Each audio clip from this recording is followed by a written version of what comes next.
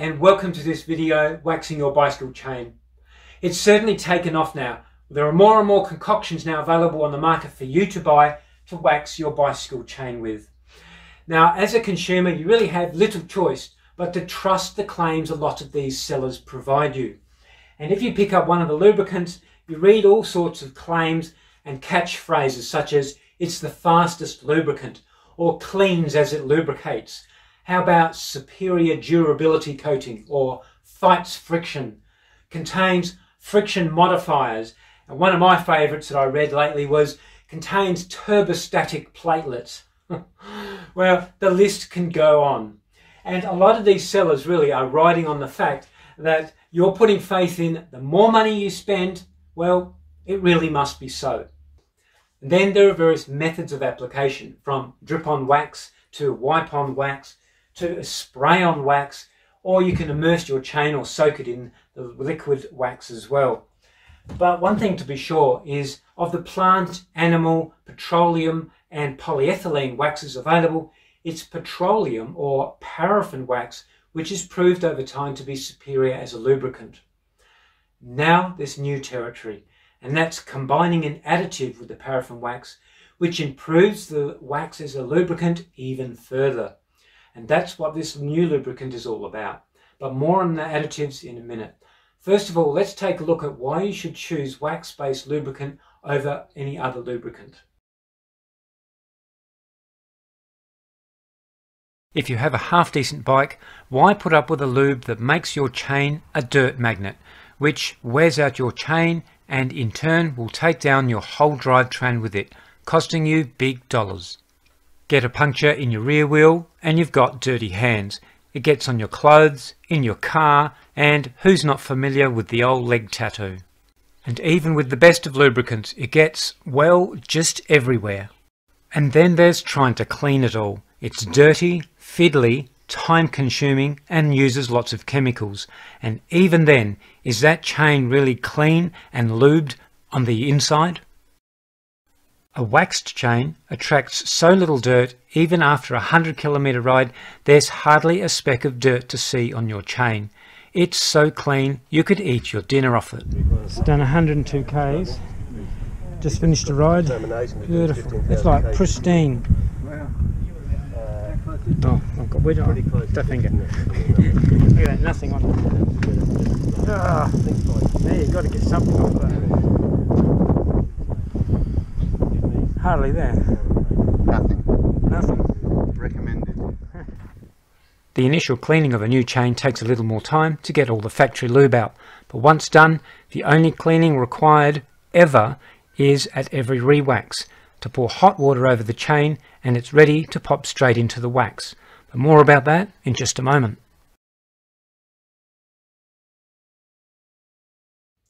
Your chain poses double the amount of friction than all the bearings combined on your bike. That's right, twice as much.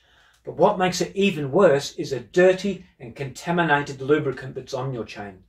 Now, as far as friction is concerned, lubricants present both stiction and viscous drag. Now, if you're not familiar with those terms, look them up. It's very interesting reading.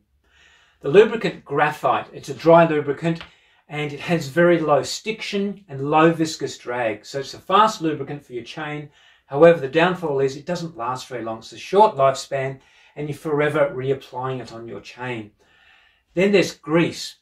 Grease is a slow lubricant, so it has high stiction and high viscous drag. However, it has a longer lifespan so it'll keep lubricating your chain for much longer than a dry lubricant. Then there's this new wax lubricant we have with its additive. It's extremely slippery solid, so it's low in stiction, low in viscous drag, However, it also has a good lifespan, so you're not forever reapplying it on your chain. So you're going to get the best of both worlds. And as far as friction is concerned, it is also going to save you up to 5 watts of your power. So the wax lubricant is not only the cleanest lubricant, it's also the lowest in friction. And by keeping up regular waxing of your chain, instead of getting two to 3,000 kilometers usage out of your chain, you're going to get up to 15,000 or more kilometers before reaching the 0.5% wear mark. Now, as far as wear is concerned, the longer your chain lasts, the longer your rear cassette and your front chain rings are going to last as well, your whole drivetrain. Now, once your chain does reach 0.5% wear, you replace it with a brand new chain. Then when that reaches 0.5% wear, you replace it with a third chain. Yep, you'll get three chains per cassette every time. Now, if each chain lasts 15,000 kilometers or more, how long is that with three chains? 45,000 kilometers or more before you need to replace your rear cassette. Now, how long does it take you to ride 45,000 kilometers? Chances are you're going to be wanting to upgrade your bike before you even need to replace your first cassette back. That's how long this wax is going to make your drivetrain last. Now, paraffin wax is a brilliant chain lubricant on its own. However, when you combine it with an additive, it becomes even better. Now, some additives are molybdenum disulfide, silicon, PTFE or Teflon, graphite, hexagonal boron nitride, and tungsten disulfide, and there are others as well. Now we'll just focus in quickly on molybdenum disulfide because it's commonly used in chain lubricants and in particular it's used in molten speed wax. Now of course we're comparing this wax to the homemade one, we've been doing that test and in the previous video we did a complete clean out of the two chains. And in the petrol we had some deposits at the bottom of the jar and with the molten speed wax we saw that it was magnetic. So some of the material at the bottom was ferrous. And in the homemade one, there was very little ferrous material at all.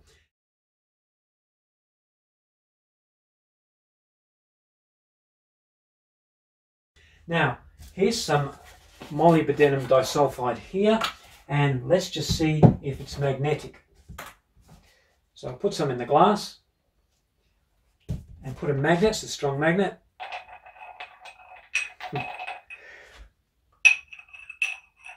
it's definitely not magnetic. So what is in the bottom of that jar is ferrous material attracted to the magnet, not molybdenum disulfide. So it can only be metal, which has come either from the road or from the chain itself. Now, the homemade wax was a lot cleaner, had hardly any ferrous material in it. So chances are with the molten speed wax chain, it was from the chain wearing out itself on the inside.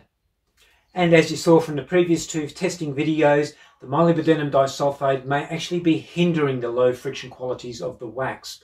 So molybdenum disulfide really isn't required. Not only that, it's also dirty stuff that leaves black smudges everywhere as well. Now it's taken a lot of testing and a lot of time, three and a half years in fact, of trying all different additives to waxes. And here are just some of my personal ones that I've been trying out. So now what we finally found was the ideal additive is PTFE just on its own at a ratio of 1 in 10. So 1 part Teflon to 10 parts paraffin wax. And there was no need to have any extra Teflon. So that ratio turned out just right. Now quite often with Teflon it cakes together or clumps together in a mixture and you use an anti-caking agent like molybdenum disulfide which helps keep it apart. Well, it wasn't necessary if the Teflon was kept very small particulates, like 1.6 micron. So there you have it. It's a ratio of 1 in 10 at 1.6 micron. Now, initially, after putting this new lubricant with the PTFE powder on, after a couple of hundred kilometers of riding, I took the chain off and cleaned it and had a look. And I noticed that all this white Teflon powder had filled in all the scratches and imperfections on the chain on the outside of the links even around the pivots, the pins where they go through, filled in any bit it could. it was interesting. So I cleaned the chain completely in petrol, and guess what? The Teflon, a lot of it was still there, all these white little bits filling in all the crevices. So that was really interesting. And so concluded that if that's so on the outside, it surely must be so on the inside. It must be doing the same sort of thing. So it's very, very stubborn. In fact, so much so the only way, way to get that Teflon out of the crevices was to physically scour it off. The PTFE is a very, very slippery substance and it improves the anti-sticking of dirt. So when you've got the PTFE on your chain and dirt finds it really difficult to cling to your chain. So without dirt clinging to your chain, you don't have a grinding paste with the lubricant, so it won't get into your chain and grind away at the lifespan of your chain. So that's why it's going to give your chain such a long lifespan. And it's lovely and smooth still.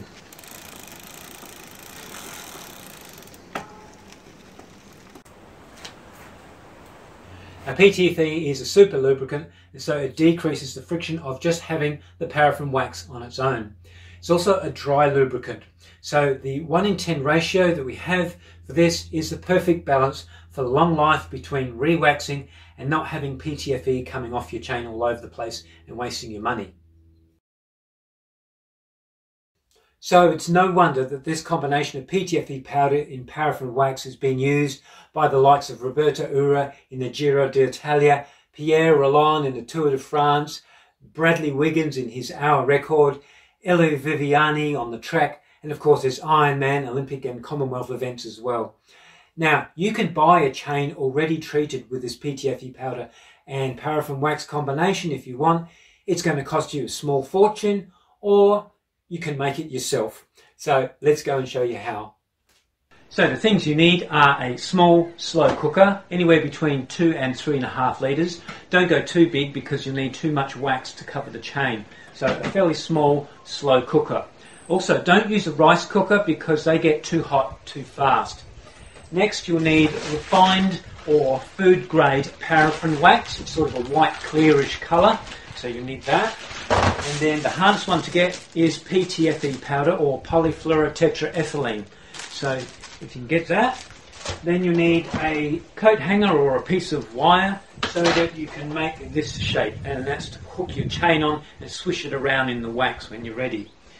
So one of them and of course your perfectly clean chain ready to wax. Refined paraffin wax usually comes in pellets or blocks, but if you really can't get refined paraffin wax, you can use candles, preferably unscented and uncoloured.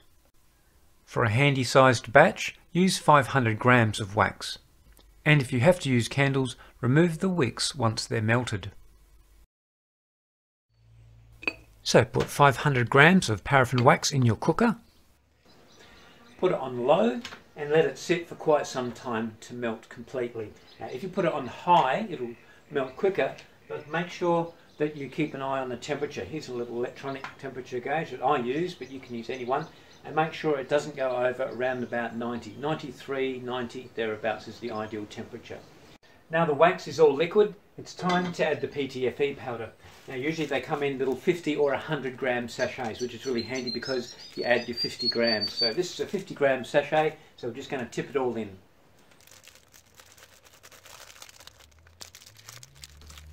Give it a bit of a stir so that it looks milky and you're ready to go. Now get your coat hanger or piece of wire and make a swishing tool. It doesn't have to be perfect, but here's an approximate size of what I find handy. Now put your chain on the little hooky tool that you made. Doesn't have to be exact. There we go. Link pieces on as well. And pop them straight in the wax.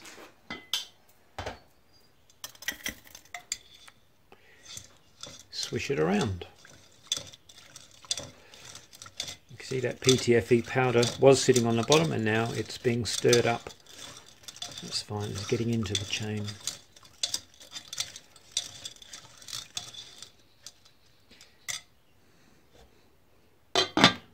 So because it's the first wax for this chain, needs to soak around about 10 to 15 minutes. So it's been that already. Now when taking your chain out, let it drip. And now if you're using in uh, wet conditions, muddy conditions or off-road or gravel, then just let it drip till there's hardly any more drips and then put it somewhere to cool down, just hang it up. And that will leave a little bit of wax on the outside of the chain. Now, if you're using it in dry, fairly dry conditions like on the road and you want your chain to be super duper clean and shiny, as soon as you take it out while it's dripping, give it a wipe with a nice clean cloth. I'm wearing a glove because it's quite hot, the wax. And keep wiping and that'll take most of the wax off the outside. It'll still leave a bit on the, outs on the outside to protect it, but it'll leave a super duper shiny and clean chain. And also it'll stop wax from getting on your cassette and your front chainring. It'll keep it to a minimum, so everything will be super duper clean. Once it's cooled down, it'll be all stiff. so just work it off the hanger, take the links off first. like that. Just take your time. There go. And it'll be all stiff. So all you need to do now is loosen up the links. Now there's a couple of ways of doing that. You can use a pair of gloves, just use a put it over your thumb. So it's sort of like that. and back the other way. And do the whole chain. Or you can go over a knob. Now I happen to have on my drawers here some knobs sticking out, nice wooden knob, and it works really well.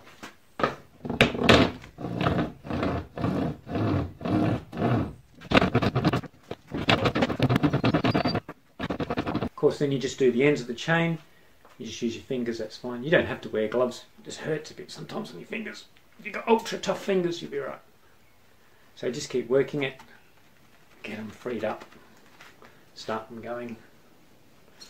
Same with the other end. And you're right. For your removable links, there's a slot on the pin which fills up with wax, making it difficult to interlock both sides together. To clean out this wax, slide the pin into the opening of the opposing link plate and give it a few swivels. And of course, do the same for the other pin. Then to reduce excess wax on the inner plate surface, lightly hold the pin with a pair of pliers and twist against that plate. And then do the same for the other link plate. Now you can thread the chain onto your drivetrain and join it with the removable link.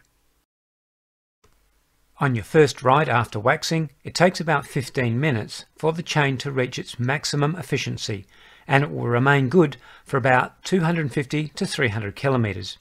And then you re-wax. To re-wax your chain, the first thing to do is turn your slow cooker on because the wax will take at least half an hour to warm up. Now while that's warming up, go and take your chain off and we can clean your drivetrain. I recommend Connex links because they're the easiest to remove with no tool required and are also the most durable link. Get a sieve like this, this is just a plastic one, and put your chain and your link in there. Boil a kettle of water and pour it slowly over your chain. This will remove any excess wax and dirt from the outside but leave the good wax inside your chain links. Right, now your chain's hot so be careful. Be careful. Yeah. And just let it cool down a bit. Thread it onto your swishing tool And straight into the pot of wax. Even if the wax hasn't melted yet, it will heat up the chain as it does, and that's fine. All you need is some sort of a tray. This is a kitty litter tray. A dustpan brush, which you can get anywhere. Some spray degreaser. And a pump sprayer with water in it. Put the tray on the ground, directly below the cassette and the rear derailleur. Get your spray degreaser and just put a little bit on your cassette there. That's all you need. And a little bit on the brush. And then spin your wheel backwards toward you and hold the brush on the cogs.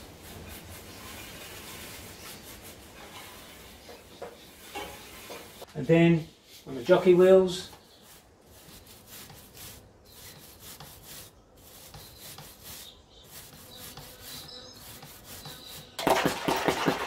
Then with your water sprayer, wheel forward and just spray from about halfway on your cassette and downwards. Don't spray up above here, it might end up in your mechanism and the cassette body. So just halfway. And go slowly, spin the wheel a little bit at a time. And the jockey wheels, give them a bit of a spray. And then on the inside as well.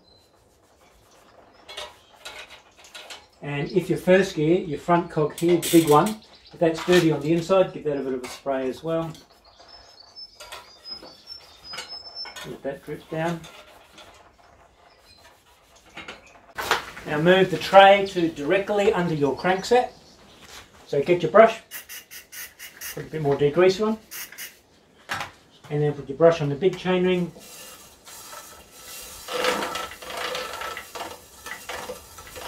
and then on your small chainring as well.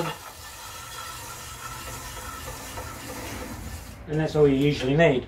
Now, if you're, for instance, riding in the wet and you've got more wax on your chain or on your mountain bike and you've got more wax on your chain, quite often you get more wax on your chainring than your rear cogs. So what you can do for your front chainring, just put a very small amount of spray on the rings. Now just avoid your bottom bracket, so spray down the bottom area, just a little bit, and on the inside as well. That's all you need.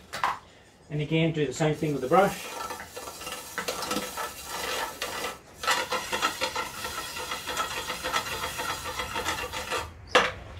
And rinse it off with water. Again, spray down the bottom, don't spray up the top, down the bottom area.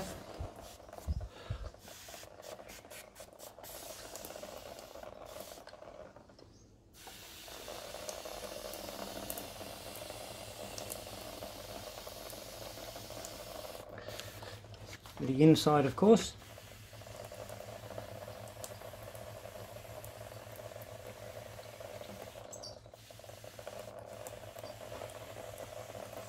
Your front derailleur will usually be fairly clean, but if you want to give that a bit of a scrub as well, if it's got some wax, again, you really only need a very, very small amount of degreaser on there. You just give it a rub on the cage. And there. Very quickly, and then spray it off immediately. Now that will go down over your frame area, over your bottom bracket area, but if you do it quick enough and use enough water, then the degreaser won't affect anything, you'll be fine. You're using very little mostly water here.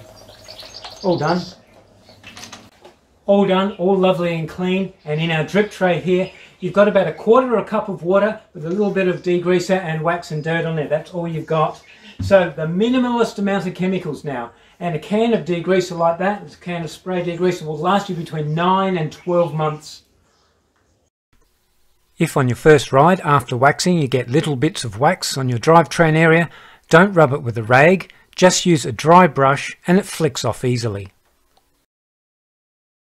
Apart from the initial cleaning of your chain, all the rest of the time, every re-wax for your chain and your drivetrain is going to use hardly any chemicals at all. So environmentally friendly, it's certainly the way to go as well.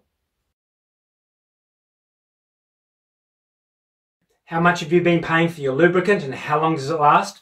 Well, the paraffin wax, 500 grams, is going to cost you anywhere between 5 and $10. And then the PTFE powder, 50 grams, is going to cost you about $10. So it's anywhere between 15 and $20 for one batch. Now, each batch you make is going to last you about 15,000 kilometers. How cheap is that? Then you can factor in that you're going to save money by not buying a cassette or a front chainring for a very long time. So if you've never tried waxing your bike chain or you've had trouble in the past, I hope this video will set you on your way.